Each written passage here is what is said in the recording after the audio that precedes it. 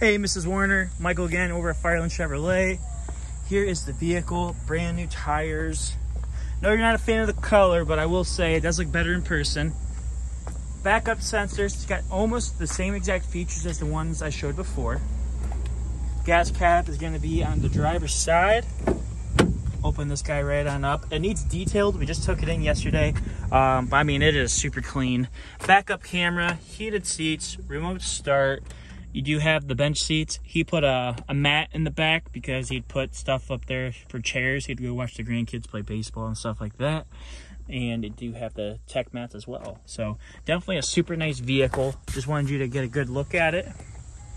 Let me see if I can find out how many miles are on it. It does have remote start.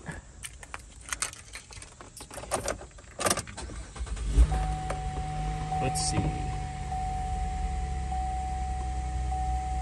44,000 miles around the vehicle. But there you have it. If there's anything else I can do for you, please let me know. And I look forward to hearing from you. Thanks, Mrs. Warner.